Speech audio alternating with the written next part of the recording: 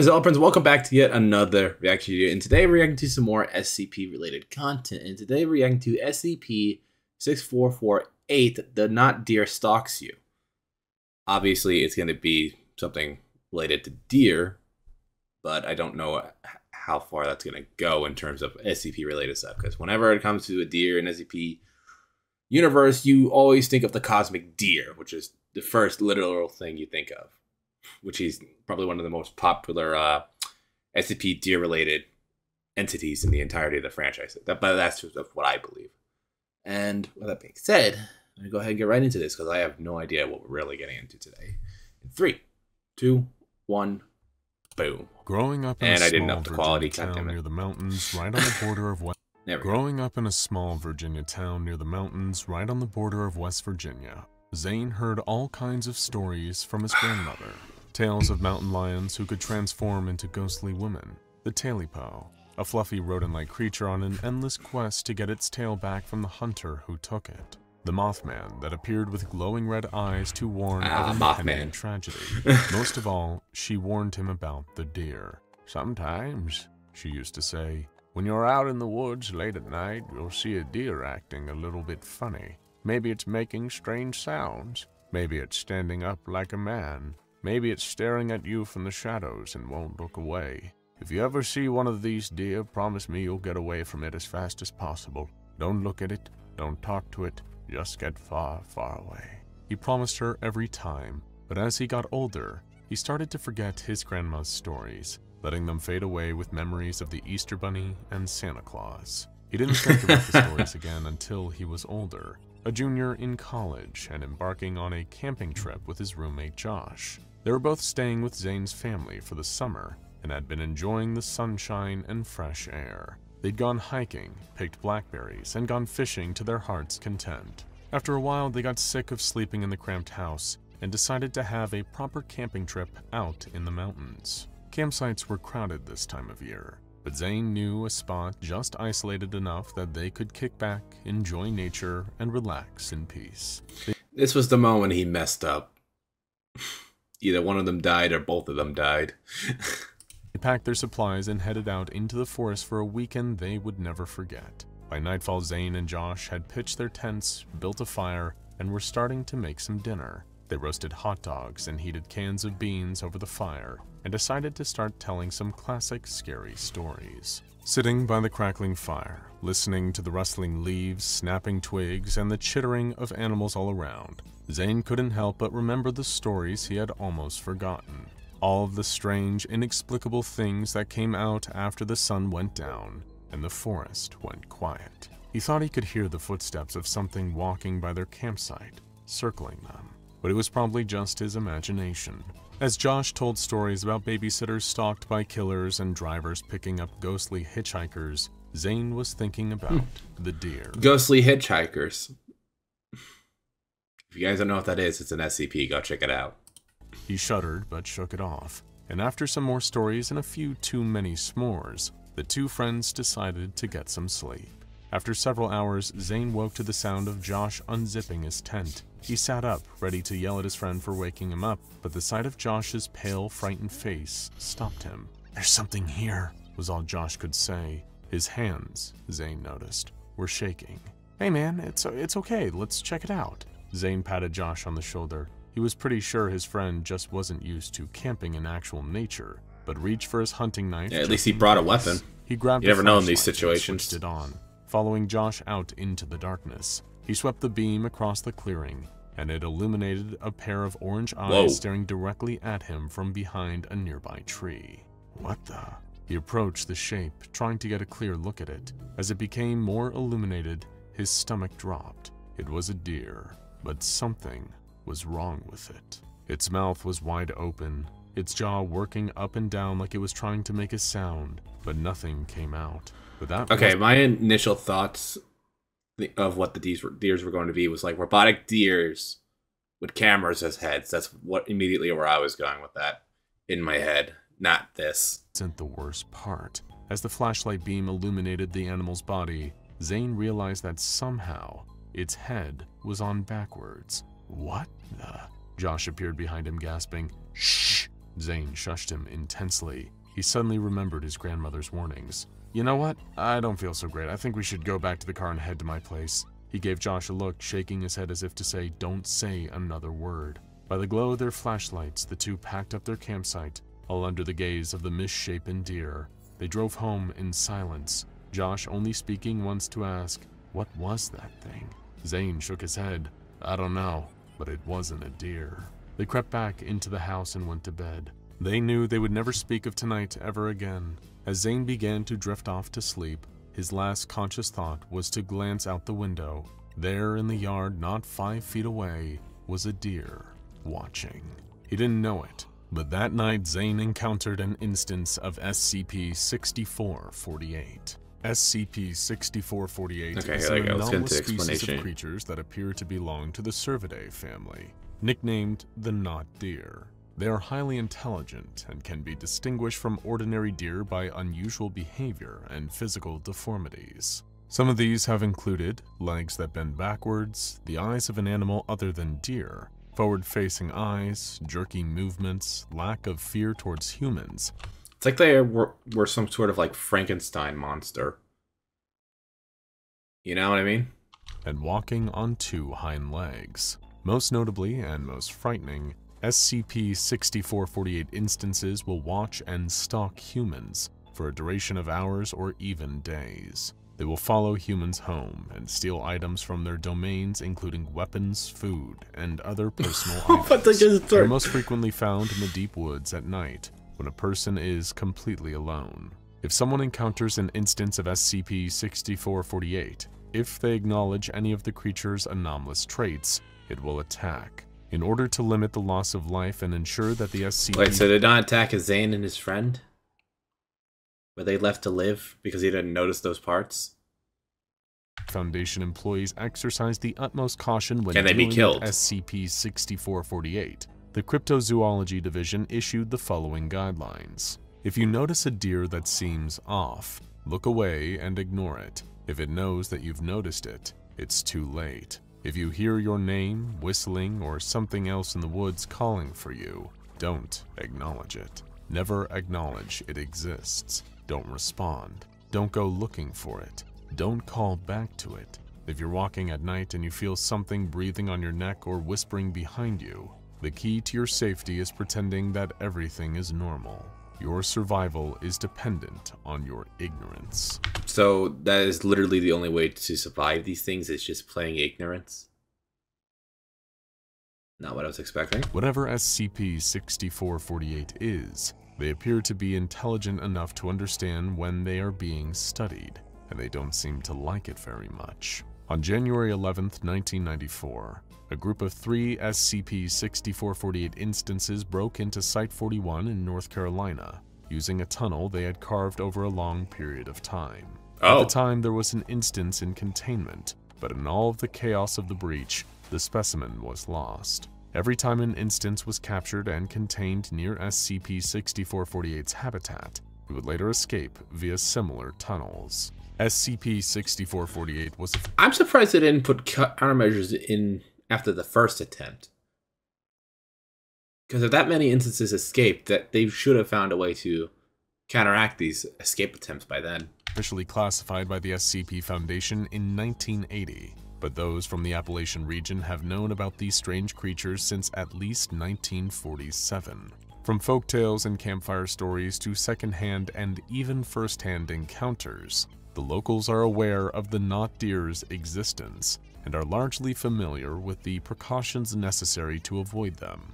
Though many of the civilians that encounter SCP-6448 avoid notifying the authorities, there have been several recorded 911 calls involving the not deer since 2000. The following is a log of those calls. February 1st, 2000. Victim, age 41 female, dialed emergency services after hearing their name being called from the woods near their home. The victim recounts the vocalization being likened to a scream in a voice that they do not recognize and requested assistance in locating the source. Emergency personnel requested the subject place their phone on the floor outside the home to listen for the alleged sounds. After two minutes, a vocalization was heard that was calling to the subject by name, emanating from the nearby forest. The subject was instructed to investigate the disturbance themselves and keep services updated on the situation. Vic- I'm sorry, what?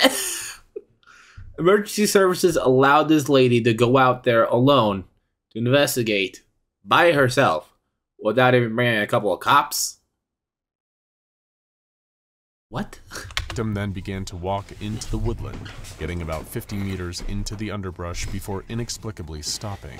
They claim there to be a noticeably large deer standing in the way of the path. She begins to walk closer, though states it does not move. Subject diverts from the path and begins walking in a different direction. After 30 minutes, no source of the voice is determined. The caller returns to their residence. June 13th, 2002. Let you see Victim, live. age 28 male, calls 911 regarding a home break-in. The caller notes numerous items to be missing from their residence and requests an investigation. Operators dispatch two investigators to visit the home and and pertain a potential perpetrator. The pair note that based on earlier CCTV images, all cutlery, sharp objects, firearms, light bulbs, and a single copy of the novel The Day After Roswell are missing.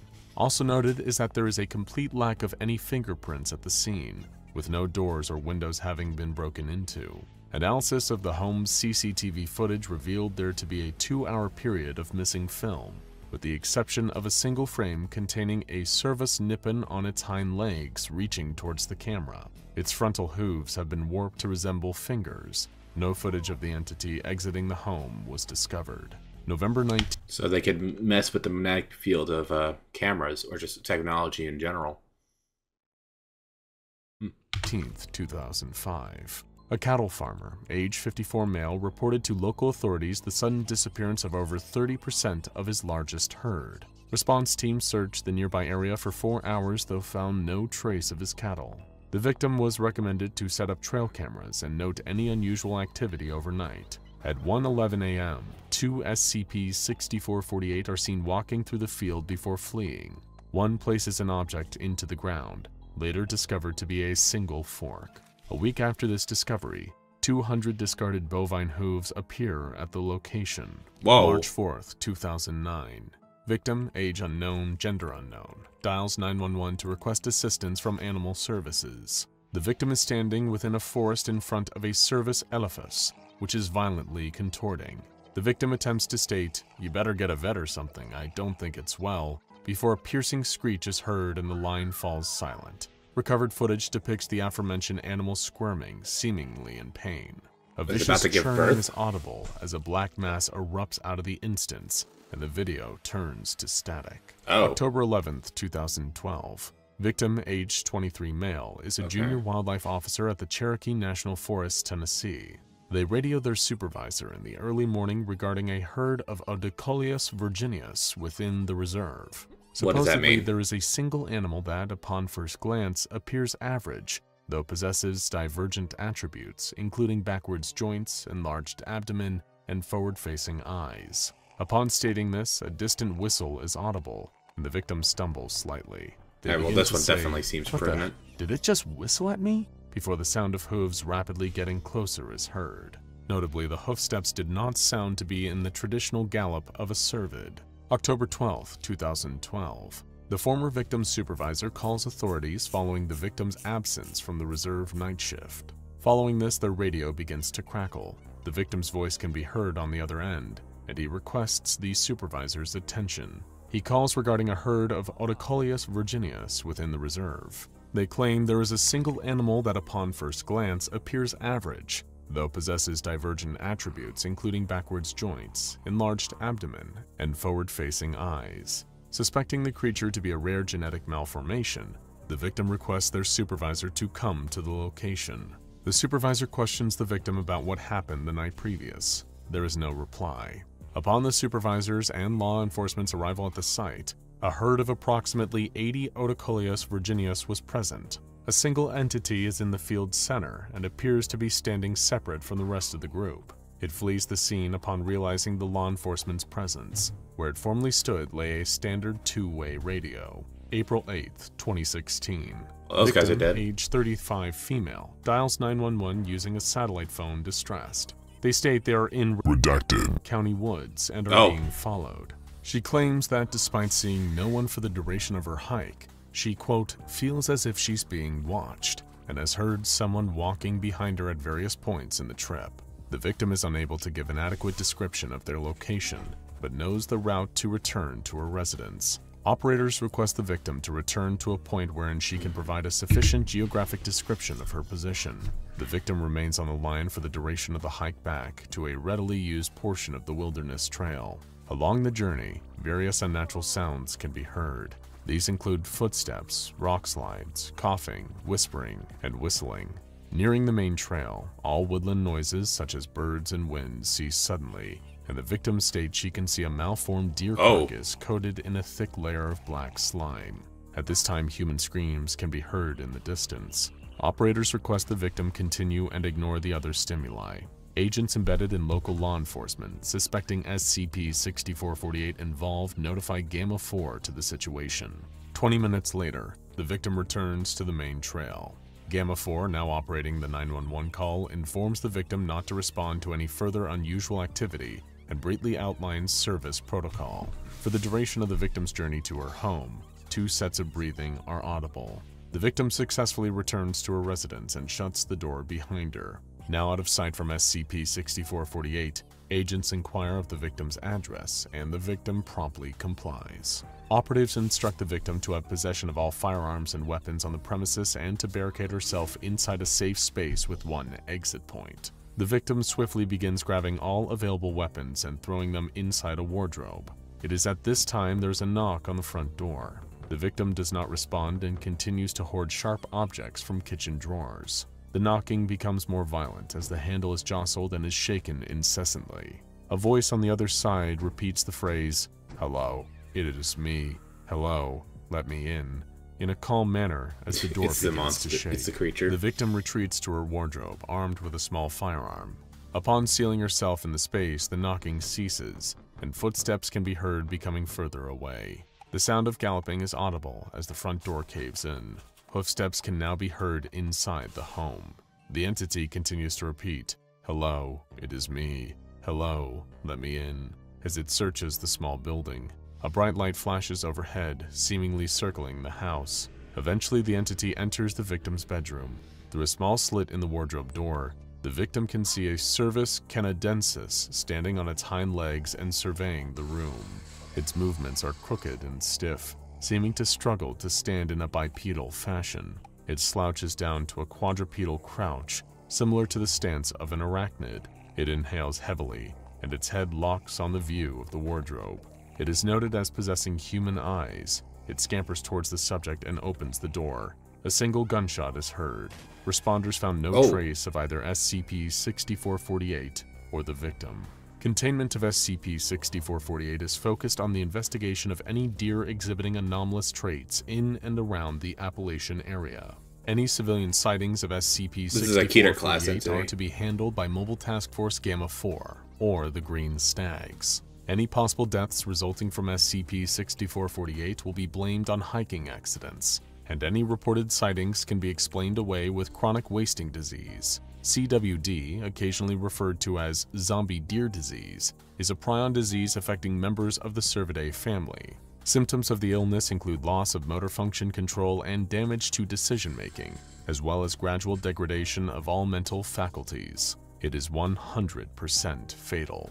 However, though the disease does exist, most recorded cases of it in the Appalachian region can actually be attributed to instances of SCP-6448. Any Oh. captured instances of SCP-6448 should be transported to Site-44 for the Cryptozoology Division's containment and study.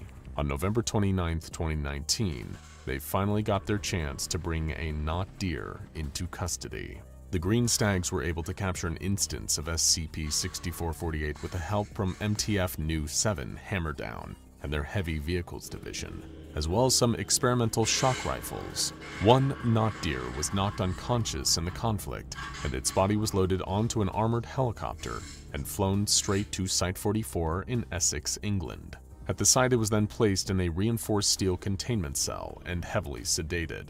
This entire process went off without a hitch, as the entity began to regain consciousness, Cryptozoology specialist F. Oz watched it through a one-way glass window and attempted to speak to it through the intercom. Greetings, SCP-6448, researcher Oz began.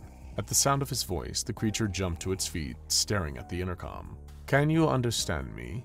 We've seen your genus speak English just fine in the past. The animal did not answer, but began licking one of its legs and behaving as if it were an ordinary deer. Researcher Oz sighed impatiently. Please, we know your secret. The not deer stopped what it was doing, freezing completely still as it listened to the words. Admittedly, it wasn't exactly well kept. If you just look at yourself for more than a few seconds, it is very clear that you're not normal. At this, the creature, which had been facing away from the window, swiveled its neck 180 degrees, breaking its own spine with an audible crack. Ooh. It stared unblinking at the window and directly at researcher Oz. Oz turned to the containment staff, suddenly anxious. I thought you said this was one way. The staff assured him that it was, and there was no way the not deer could see him. Still, its eyes were locked directly on his face. He shook off the sense of unease and continued his line of questioning. Are you He knows. he knows you're there. something imitating deer? It is clear that if so, you possess basic anatomical knowledge of them, though details are clearly faulty. In fact, a better question would be how, if in fact you are not what you pretend to be. The deer opened its mouth at this, revealing unusually sharp teeth. It moved its jaw as if attempting to speak, but only a choking sound came out. Sh- shall we move on? Oz asked. What I'm more concerned with here is why you take our people. Is it a vendetta? Spite?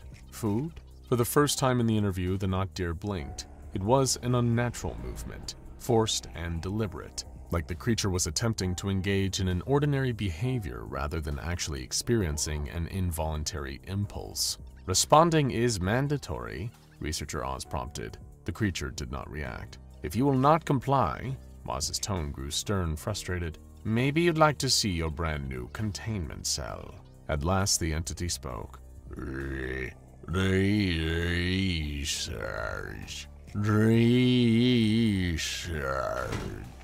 Its voice resembled a distorted version of Oz's. Research? What kind of mimicking. of... Oz wasn't able to finish his question. July 7th, 1947, the creature said before ramming into the one-way glass and cracking it. As Oz stumbled backwards from the force, the creature collapsed on the ground, seizing and screaming as its abdomen. Get the stags in here now! Oz cried out, but it was too late. A black mass of something shiny and tendrilled leaped out of the not deer, scuttling around the cell before Whoa. shattering the window and leaving the empty shell of a deer behind. The Site 44 breach system activated and attempted to initiate emergency containment protocols, but the mysterious black mass escaped its sector, made its way toward the main exit, broke through the glass of the front exit door, and vanished into the shrubbery outside. The escaped anomaly could not be found and recontained. Ever since this incident, there have been a record-breaking number of chronic wasting disease cases identified in deer in the surrounding area, as well as an unprecedented increase in UFO reports. Further research is currently ongoing, but it is unknown whether we will ever truly know what these creatures are. Only one thing is for certain. They are definitely not deer. Now go check out Uh. SCP-968 Sleep Killer and SCP-2571 Cragglewood Park for more knowledge. Oh, I just realized they have the name of the person who originally wrote the SCP file itself of the creature and entity for the video is based on. I don't think I noticed that before. Has that always been a thing, or am I just now seeing it for the first time? But that was not what I was where I was expecting this to go in any way whatsoever. Like I said at the beginning of the video, I thought it was going to be like a combination of robot deer with surveillance cameras because it's based on the title of this video. That's where I thought this was going, but no, it ended up being an what appears to be an invasive species entering deer and manipulating, I guess, their genetic structures to reform them into something that the entity inside can use them for.